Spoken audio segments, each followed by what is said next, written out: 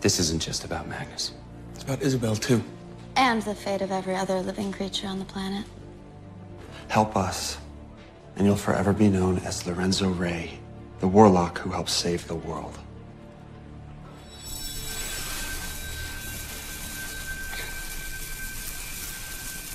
You ready? Bobby Helen would kill me if she knew I was getting a tattoo.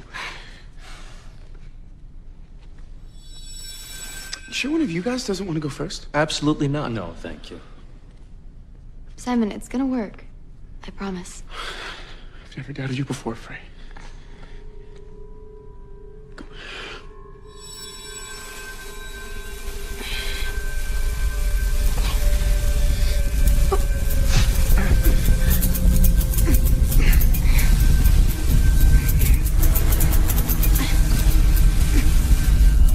This is a lot of resistance. I got it.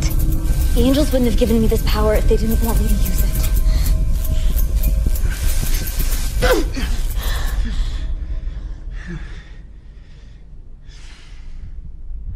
Are you okay? It stings a little.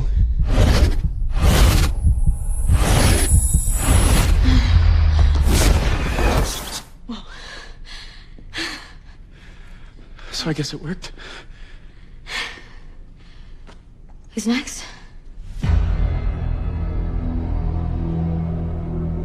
Almost there. You really sure this will work? It has to. This is incredible.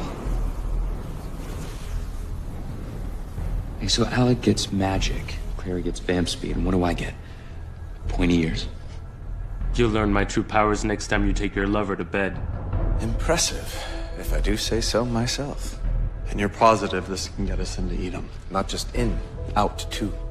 Although it feels like a waste to ignite such craftsmanship. Ah, I suppose thus is the ephemeral nature of my art. Let's do this. Maybe if we're lucky, we'll find Izzy and Magnus in the same keep. Right. Where's the keep?